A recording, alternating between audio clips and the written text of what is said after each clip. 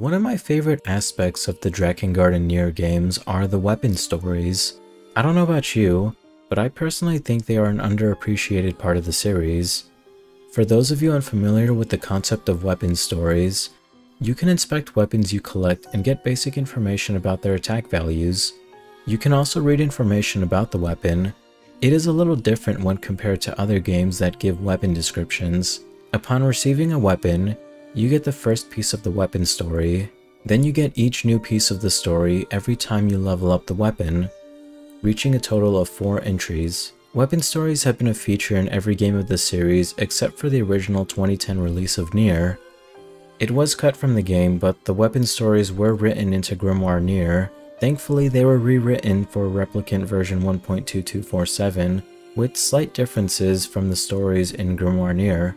Most of the weapons found in Nier originated from the world of Drakengard. The fan theory is that when Kaim and Angelus were blown out of the sky, all of the weapons Kaim had collected were scattered around the area, leaving them to be found by Nier thousands of years later. For the weapons found in Drakengard and Replicant, some stories are closely related to each other. One of my favorite weapon stories is for the Fang of Twins. In Drakengard, the weapon story tells the tale of two twin gods that cause destruction to a village without a care for anything. To end the destruction, members of the village decided to make a sacrifice, beheading a young twin brother and sister with their souls being trapped into the weapon itself. In Replicant, the weapon story takes place from the perspective of the brother, his love for his twin sister, and how they have been together since birth. The only time they were separated is when his dad cut off his head, and his mom did the same to his sister. The boy was happy knowing that their blood was mushed together into a single axe, where they remain together forever. The weapon story does become a little more twisted in Automata, especially when you reach level 3 with it. The twins begin to tease each other, with one of them copying the other's words. But whoever is telling the story no longer wants to be stuck with their sibling, saying, Someone separate us. Oh god, please, someone help me. Iron Will has an interesting weapon story across the series. In Drakengard, the sword's wielder becomes careless and develops a huge thirst for killing. The wielder becomes so bloodthirsty, the sword itself begins to have a mind of its own, always wanting to kill. In Replicant, the weapon story tells about how the weapon is filled with rage, glamoring about its iron will. While in Drakengard 3, the weapon progressively repeats the words iron, kill, meat, and blood, with the belief that the wielder's soul is still inside the weapon, wanting to escape and become human again.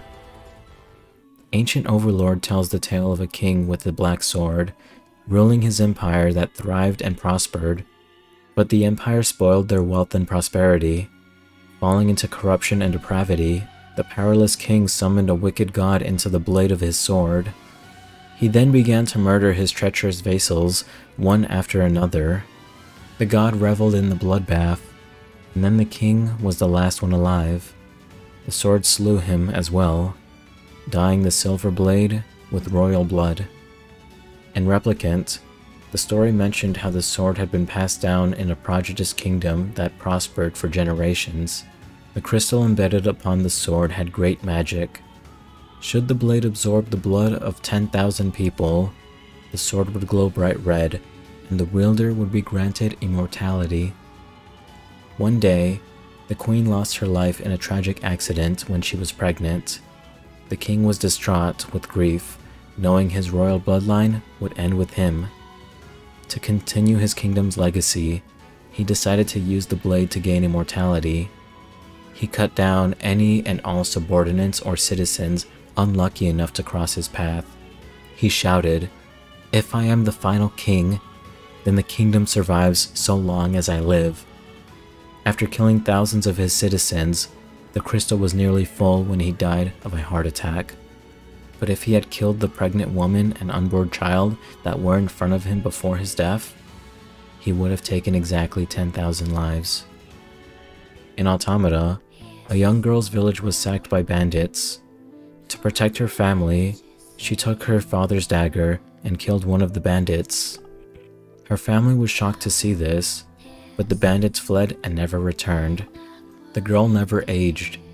The family she protected grew old, but not her. Other villagers began to shun her.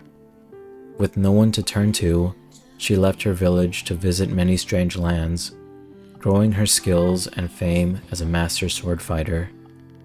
Eternal life, a powerful weapon, and boundless experience. She used these talents to become queen of a nation, but she still had emptiness in her life, desiring the kindness her family denied her after she saved them from the bandits. There's still plenty of weapons across the series I could discuss, but I don't want to make this video any longer than my usual videos. However, if you enjoyed these discussions about weapon stories, I could make longer or multiple videos about the other weapons in the series. Let me know down in the comments. Take care, and I'll see you soon.